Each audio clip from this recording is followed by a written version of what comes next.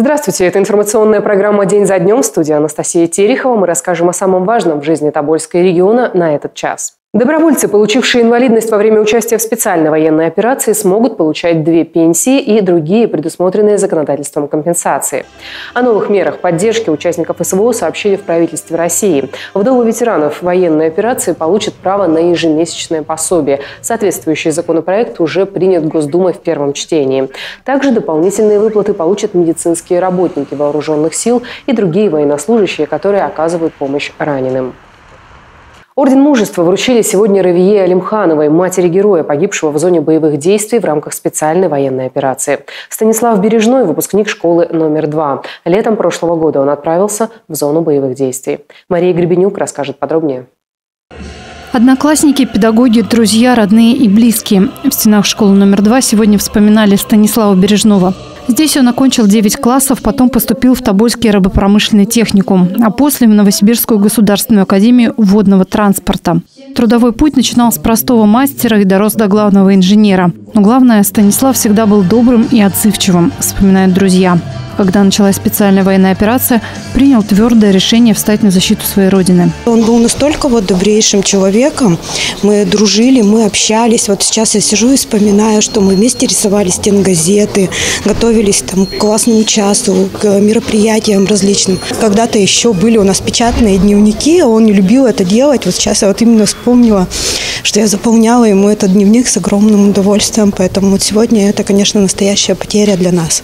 Перед отправкой в зону проведения специальной военной операции Станислав прошел подготовку в Чечне. Он уходил не через военкомат города Тобольска, подписал контракт, но нам, как мне информация поступила, где-то в июне месяце. В конце июня, начале июля он уже подписал контракт и убыл на территорию Украины. 11 августа 2022 года Станислав погиб. А 9 ноября указом президента Российской Федерации он посмертно награжден Орденом Мужества. Сегодня награду героя из рук главы города Тобольска Максима Афанасьева получила мама Станислава Равия Алимовна. Воспитать героя – это подвиг для матери. Безусловно, вы вложили все самые лучшие качества своего сына. Мы гордимся Станиславом. Вечная память вечная слава. В марте на стене школы номер два появится мемориальная доска в память о герое Станиславе Бережном. Мария Гребнюк, Михаил Куричка. Тобольское время. В Тобольске наградили победителей программы «Формула хороших дел». В 2023 году при поддержке Сибура будут реализованы 16 проектов победителей грантового конкурса. За 7 лет с начала его проведения в городе было реализовано 179 различных инициатив. В этом году добавились новые направления – инклюзия и волонтерство, а общее количество заявок на участие превысило 800. Среди тех, кто получил грантовую поддержку – школы, учреждения дополнительного образования, социально ориентированные НКО и общественные организации организаций «Волонтерские движения». В Тобольске пройдут фестиваль по восстановлению деревянного зодчества «Тобольские узоры», фильм-фестиваль «Киногараж», марафон хакатонов «Мегахак», спортивно-образовательный проект «Горнолыжная семья», Вперед к волейбольному Олимпу. Любопытный проект «Свои вещи» реализуется для людей с ограниченными возможностями, предполагая создание мастерских по четырем направлениям прикладного творчества. Зорница снова в Тобольске. Участие в этом году принимают все школы города. Игра пройдет на новой спортивной территории. Подготовку школьники проходят поэтапно. Подробности у Натальи Китовой. Ловкость, меткость, умение ориентироваться на местности и эрудиция. Тобольские школьники готовятся принять участие в городской военно-спортивной игре «Зорница». В этом году она пройдет в черте города, на новой спортивной площадке на территории гимназии имени Николая Лицмана. В прошлом году мы его, так сказать, провели в тестовом режиме, провели на базе «Сибиряка». То есть там в основном участвовали воспитанники военно-спортивного молодежного центра «Россияне» и специализированных групп до призывной подготовки и юноармейцы. В этом году вот мы решили провести ее на городском таком масштабе.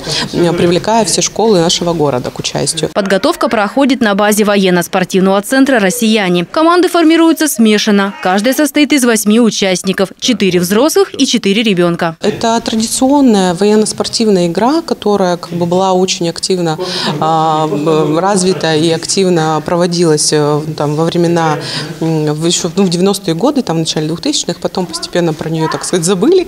Но это игра, которая ну, как бы прививает в том числе молодежь и к патриотическому воспитанию, и к командному духу, и помогает как бы проявить свои навыки во всех испытаниях. И если сравнивать со, со старыми добрыми временами, зорницы, конечно, не, не в таком масштабном формате сейчас проводится, как раньше, но мы идем по тому пути, чтобы снова этот формат популяризировать среди молодежи. В первую очередь это пропаганда здорового образа жизни. Это просто э, ребятам на свежем воздухе предлагается выполнять какие-то Э, прикольные задания. Командам предстоит пройти 8 этапов на сплочение, физическую подготовку, умение проявить себя в меткости. А еще на скорость сделать неполную сборку-разборку автомата. Ребятам это задание особенно интересно. Я люблю заниматься спортом.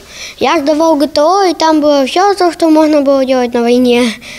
Конечно, там были игрушечные пистолеты. Я научился складывать патроны и одевать противогаз быстро. Игра состоится уже в эту субботу. Старт в 11 часов. Наталья Китова, Михаил Куричка, Тобольское время. По данным Росстата, объем сельхозпроизводства в Уральском федеральном округе по итогам 2022 года вырос практически на 17% по сравнению с 2021 и составил 481 миллиард рублей. Продукция растениеводства заняла в общем объеме 49%, животноводство – 51%. Более 60% продукции сельского хозяйства произведено в сельскохозяйственных организациях, 25% в хозяйствах населения, остальное в крестьянско-фермерских и индивидуальными предпринимателями. Позитивную динамику продемонстрировало растениеводство, где урожай ряда агрокультур стал рекордным. Индекс производства продукции растениеводства по итогам года составил 142% к 2021 году. Валовый сбор зерновых и зернобобовых вырос на 90%, овощей на 5%, картофеля на 3%. По продукции животноводства индекс составил 99%, снизилось на 13% производство яиц, а производство молока, скота и птицы осталось на прежнем уровне. В Тобольске открылся музей пограничных войск. После 10 лет кочевой жизни он, наконец, обрел постоянную прописку. С экспозицией ознакомилась и наша съемочная группа. Этим событиям вряд ли уделят время на уроках истории в школе. Вроде бы небольшой эпизод в судьбе страны, здесь в Музее пограничных войск обретает особую значимость. Таков пограничный конфликт между СССР и Китаем на острове Даманском. Остров небольшой, он длину около километра и в ширину около 500 метров. Вот за этот остров его весной полностью топило, никаких вот таких ни поля не пахали, там ничего, просто не захватили. Это наша территория, это вот. И наши пограничники приняли там неравный бой, там погиб наш земляк Шестаков Александр Федорович. Этот музей создан в 2012 году активистами Тобольского отделения общественной организации «Ветераны-пограничники Тюменской области». Представителям войск, первыми встречающих врага, есть что рассказать молодежи. За эти годы музей пять раз переезжал с места на место и, наконец, обрел свои стены в доме 29Г 4 микрорайона. Место, где наши дети, наша молодежь будет иметь возможность осознавать, что такое защищать и любить свою Родину. Я уверен, что это будет настоящей опорой, опорной точкой в патриотическом воспитании наших детей. Экспонаты с мест боев, обмундирование и снаряжение пограничников разных лет, информационные баннеры с историей пограничных войск. Предметы для экспозиции собирали всем миром. Помогает пограничное братство из разных точек страны. Про форму моряка, она как бы отовсюду. Если сама форма Димка отдал с Тюмени, без козырка это уже наш Ходосеевич Андрей Анатольевич тоже внес свою лепту хорошую. Ремень с севера приехал, знаки со Свердловска. Музей пограничных войск охотно проводит экскурсии. За время существования его посетило свыше пяти тысяч школьников. Для записи нужно позвонить по телефону, указанному на входной группе. Анастасия Терехова, Рустам Рузеев, Тобольское время. Тюменской области стартовал прием заявок на бесплатное профессиональное обучение. Соискателям доступно более 60 образовательных программ. Их количество будет увеличиваться. Получить новые знания в рамках нацпроекта «Демография» смогут без малого 2000 жителей региона. Это граждане в возрасте 50 лет и старше, женщины, находящиеся в отпуске по уходу за ребенком до 3 лет, и работающие мамы детей дошкольного возраста, безработные или находящиеся под риском увольнения, отдельные категории граждан в возрасте до 35 лет включительно. Со списком направлений профессионального обучения можно ознакомиться при заполнении заявки на портале «Работа России». После подачи заявления необходимо необходимо будет пройти профориентирование в кадровом центре. Коллаборация помогает ремесленникам Тобольска продвигать свою продукцию. Участвуя в выставках и ярмарках, они налаживают сотрудничество с мастерами из разных регионов и местными предприятиями. Сейчас новое направление – это креативная индустрия, и в Тобольске мы тоже развиваем это направление при получении опыта, э, обмена информацией с другими э, приезжими ремесленниками, мастерами. Они могут создавать новые продукты. Кузнец Валентин Орлов выполняет совместные проекты с краснодеревщиком Иваном Изосимовым. Ремесло выручило, когда оба мастера остались без работы. Начинали они с изготовления утвари для дома, теперь расширили ассортимент сувенирной продукции. Душа к этому лежит, хочется заниматься с любовью с уважением металлу, ну, помогать городу. Спонсор прогноза погоды – медицинский центр «Никойл». Центр вашего здоровья.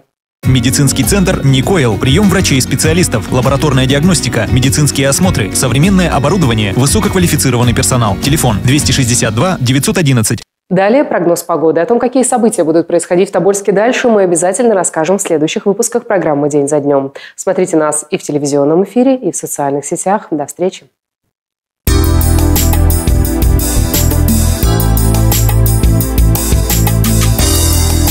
15 февраля в Тобольске переменная облачность. Днем минус 11-14 градусов. Ночью похолодает до минус 22. Ветер юго-восточный дует со скоростью 2-3 метра в секунду.